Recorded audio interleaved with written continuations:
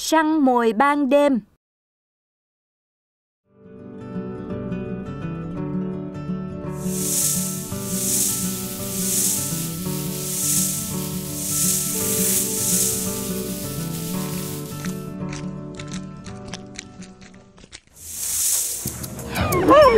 Trời, răng. May cho ngươi là ta đã giữ con chó này. Nếu không thì nếu như trước đây thì lão ấy cũng sẽ chết dưới tay của mình, Tiếc là mình già rồi, Không còn nhanh nhẹn như trước nữa. Chết! Nhưng chết là thế nào nhỉ? Không biết chuyện gì sẽ xảy ra khi mình chết đi. Mình sẽ đi hỏi ngài rắn chúa.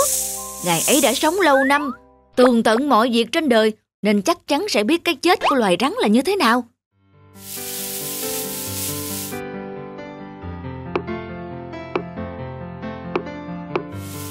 Có chuyện gì vậy rắn độc?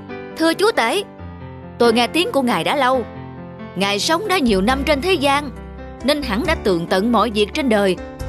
Vậy xin ngài có thể cho tôi biết chuyện gì sẽ xảy ra khi loài rắn chúng ta chết đi. Ta đã nghe nhiều về chuyện cái chết. Loài người nói rằng sau khi chết đi, người tốt sẽ được lên trời. Còn kẻ xấu xa sẽ bị đẩy xuống âm phủ và bị hành hạ đau đớn kiếp người hay kiếp rắn, thì chắc cũng sẽ như vậy cả thôi. Cũng đều là những sinh vật của trời đất này. Trời, thật vậy sao? Vậy thì cả cuộc đời này tôi đã phạm quá nhiều tội ác. Vô cớ cắn chết không biết bao nhiêu người, chắc chắn sẽ bị đầy xuống địa ngục. Đã đành là vậy, tuy nhiên không có việc gì là quá muộn cả. Từ nay ngươi hãy hối sửa những lỗi lầm của mình đã gây ra để trở thành con rắn tốt hơn. Cảm ơn Ngài đã giúp tôi hiểu được nhiều điều. Từ nay tôi sẽ thay đổi, sẽ thề không bao giờ cắn người nữa. Muốn trở thành rắn tốt, trước hết mình cần phải thay một bộ đồ tử tế hơn mới được. Rồi phải luôn mỉm cười với mọi người, không được phun nọc khiến người ta sợ hãi.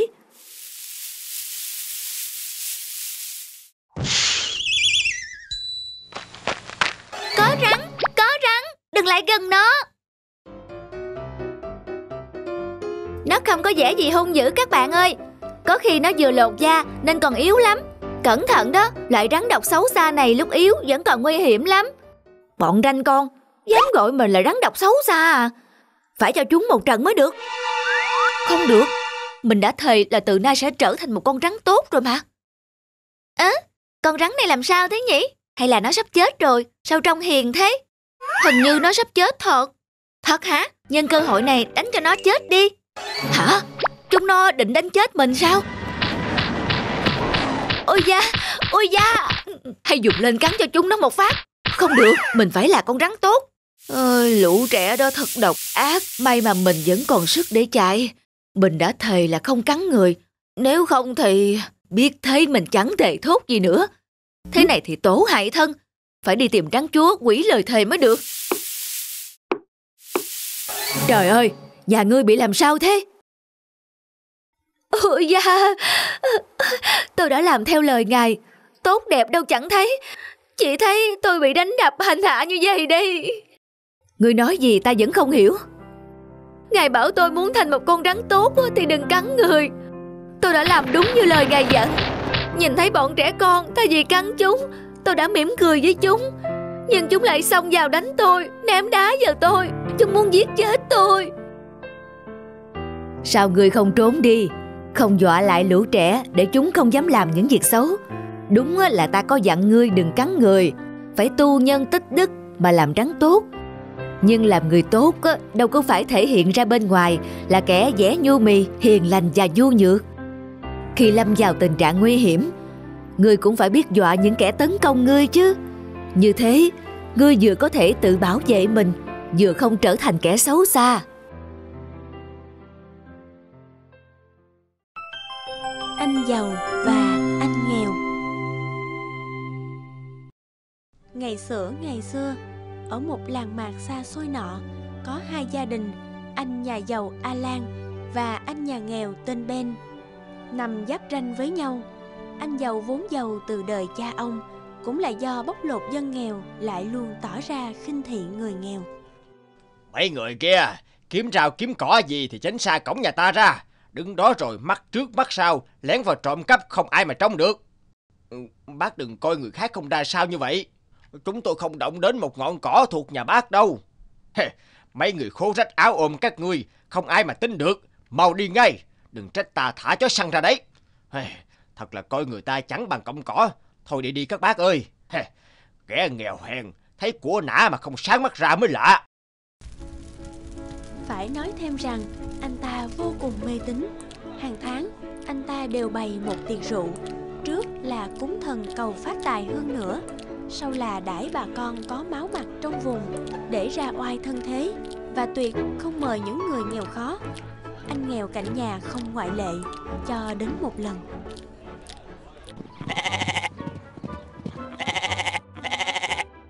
Gia nhân đâu? Sao lại để con bê lạnh cống nhảy vào đống lửa be be ván trời đất thế hả? Mau ra đây. Con biết ta đang mời khách không hả? Nhanh lên. Mau mời khách. Be be be. Nhanh lên. Be. mời be. Đúng là tên mình rồi. Cả làng này chỉ có mình tên là be. Trời ơi, lần này mặt trời mọc hướng Tây rồi. Mình phải sang ngay.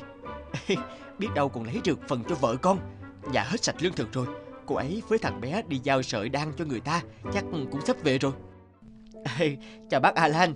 Tôi chúc bác ngày thêm giàu có hơn nữa. Phàn bạc chất đầy nha. Anh làm gì ở đây hả?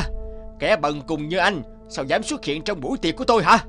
Ừ lúc nãy Tôi nghe bác đã mời tôi. Tôi sang luôn để khỏi mất công gia nhân phải gọi. Tôi... Anh điên hả? Mà tưởng như thế. Có nằm mơ giữa ban ngày Cũng không có chuyện Tại rước kẻ khô rách áo ôm đến nhà mình. Đừng nói là mời ăn. Thật là suối quẩy.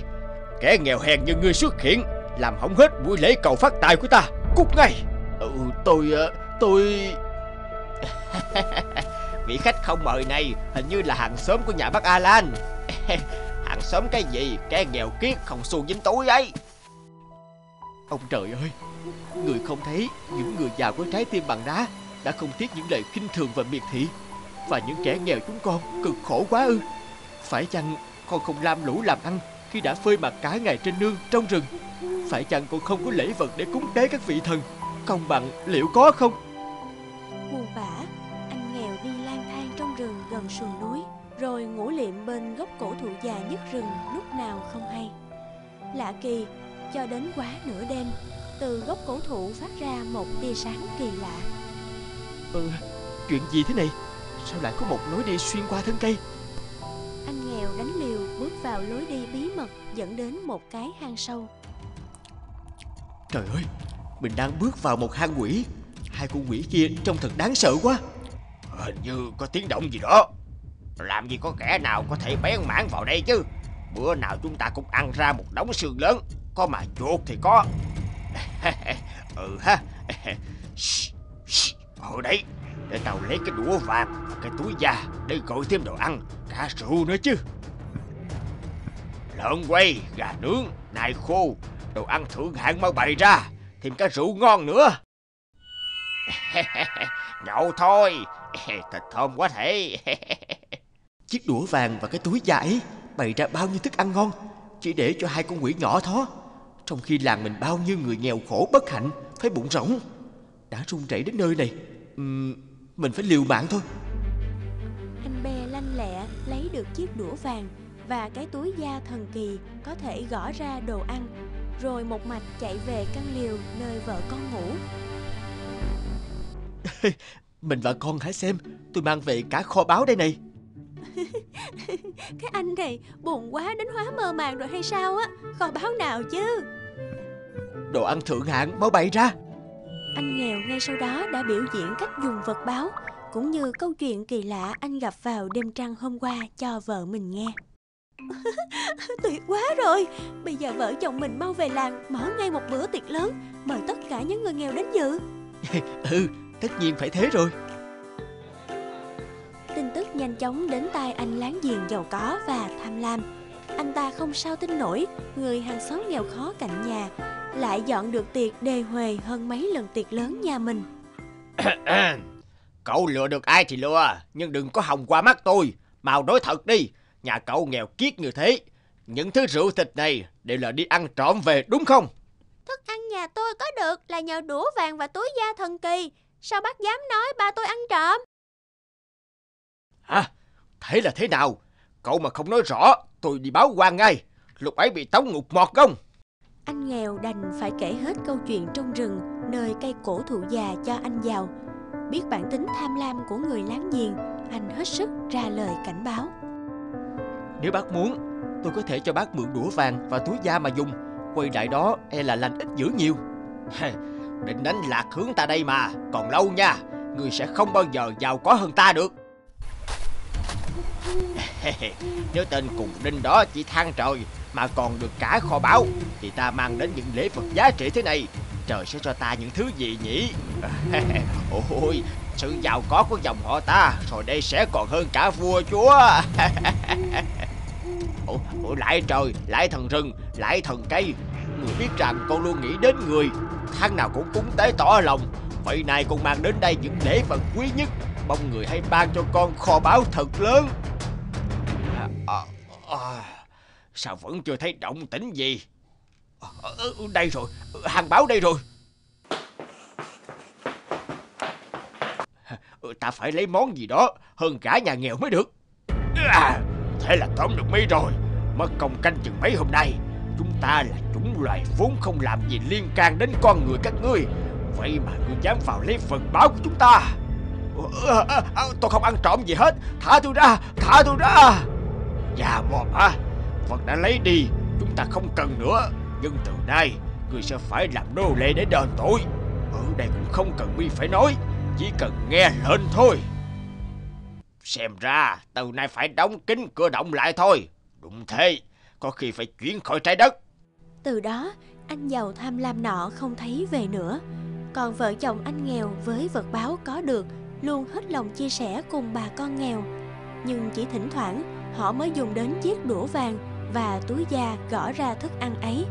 Còn lại, cả dân làng vẫn cùng nhau làm lụng chăm chỉ.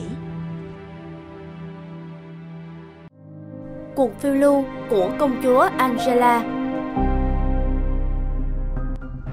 Ngày xưa, ngày xưa, ở vương quốc nọ, có một con quái vật ba đầu vô cùng hung hãn. Triều đình đã cử rất nhiều quân lính tài giỏi đi diệt trừ quái vật, nhưng đều nhận thấy thất bại quay trở về. Ta quyết định thế này, hãy ban cáo thị gián toàn thiên hạ. Nếu như vị anh hùng nào có tài diệt trừ được yêu nghiệt, ta sẽ chia cho nửa vương quốc và gả con gái của ta là công chúa Angela làm vợ. Tuân lệnh nước vua. Hả? Sao chứ? Vua cha đem ta ra làm phần thưởng ư? À, à, công chúa, xin người bớt giận. Không được, ta sẽ không chấp nhận đâu. Ta không bao giờ muốn lấy người mà ta không yêu được. Vì không muốn trở thành món quà treo thưởng của nhà vua, nàng công chúa xinh đẹp Angela đã lén trốn đi trong đêm, tiến thẳng về cánh rừng sâu.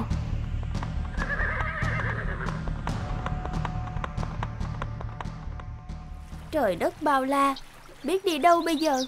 Vua cha mà biết mình bỏ trốn, chắc cũng lo lắng lắm. Nhưng giờ chẳng lẽ lại quay trở về?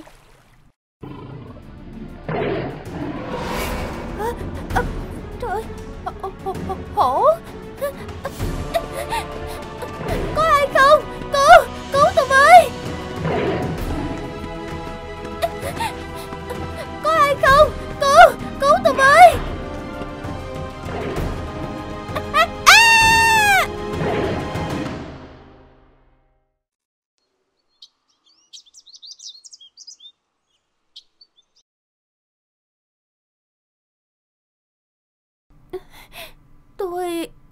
đang ở đâu đây? May quá, cô tỉnh rồi. Ngươi... ngươi đã cứu ta sao? Ừ, lúc đó cô bị ngã xuống vực nên vết thương khá nặng. May lúc đó ta đi qua nên... Uh... Mà sao một mình cô lại lang thang trong rừng thế? À, à, à, à, phải rồi. Ta đang đi tìm tung tích con quái vật ba đầu đang hoành hành gần đây để tiêu diệt nó. Quái vật ba đầu? Cô đi tiêu diệt ư? Ừ, đúng vậy. Ngươi không biết sao? Nó rất là hung dữ và làm hại biết bao nhiêu người dân rồi. Ờ, ta sống ẩn dật trong rừng bấy lâu nên không hay tin về con quái vật đó. Nó khủng khiếp vậy sao? Ừ, phải đó. Ta sẽ đi tìm nó bằng được để tiêu diệt. Tôi nghĩ cô nên nghỉ ngơi cho mau lành vết thương trước đi Rồi hẳn tính đến chuyện đi tìm quái vật Thuốc tôi đã sắc sẵn Cháo cũng đã nấu xong rồi Cô mau ăn đi rồi còn uống thuốc Ờ, ờ, ờ, ờ, cảm ơn anh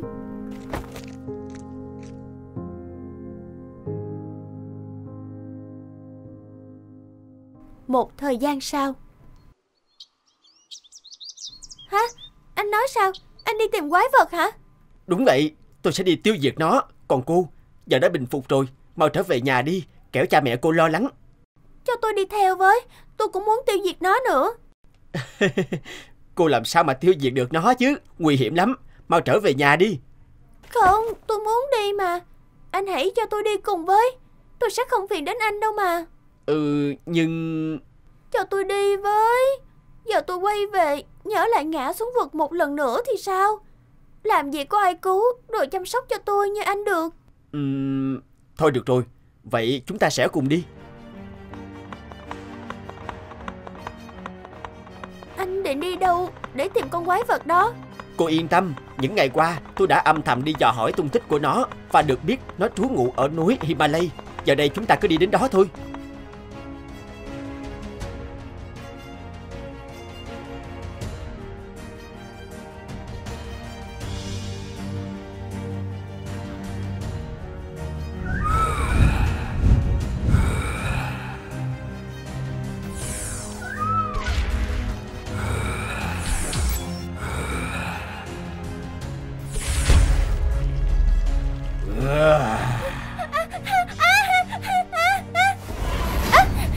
Để cô ấy yên. À!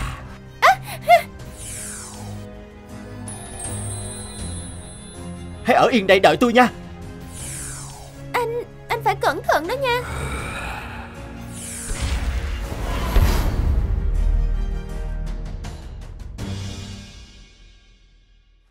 Giết được quái vật rồi Giờ anh định làm gì? Giờ tôi sẽ mang xác nó vào thành Để công bố cho toàn dân biết Quái vật đã bị tiêu diệt. Từ giờ mọi người có thể sống yên bình rồi. Anh có biết là nếu giết được quái vật Nhà vua sẽ tặng thưởng một nửa vương quốc Và gả công chúa Angela xinh đẹp tuyệt trần cho người đó hay không? Ờ Có chuyện đó sao? Đúng rồi đó. Giờ anh biết rồi Thì mau về cung mà cưới công chúa đi Chứ còn đợi gì nữa. Ừ Nhưng cô có muốn vậy không? Ờ Tôi muốn hay không Thì liên quan gì Nhưng tôi đã trót có tình cảm với người con gái khác rồi.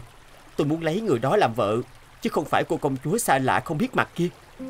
Ờ Ý của anh là Những ngày chúng ta ở bên nhau vừa qua Đã khiến ta trót yêu nàng mất rồi. Nàng có đồng ý làm vợ ta không? Chàng Chàng không cần vinh hoa phú quý Cùng thân phận phò mã sao? Chàng không sợ nhà vua sẽ xử tội Vì chàng dám từ chối người à? Chỉ cần được ở bên cạnh người con gái ta yêu Ta không sợ gì cả. Ta sẽ dẫn nàng vào cung Để nói với nhà vua rằng Nàng là vợ của ta. Ta tin người cũng sẽ không ép buộc ta nữa. Nàng chịu làm vợ ta nha. Em đồng ý.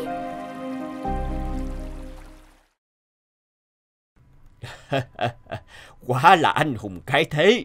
Giờ ta sẽ chia cho ngươi nửa vương quốc Và gả con gái yêu của ta cho ngươi. Ngươi có đồng ý không? Ờ thưa đức vua Thần xin phép Chắc chắn là đồng ý rồi ạ. À. Ờ nàng Nàng là Là em đây Vợ của chàng. Chàng trai vô cùng bất ngờ Khi cô gái mà chàng yêu Lại chính là công chúa Angela. Ngay sau đó Hôn lễ của hai người diễn ra vô cùng long trọng Trong sự chúc phúc của quân thân Kể từ đó Hai người sống bên nhau hạnh phúc trọn đời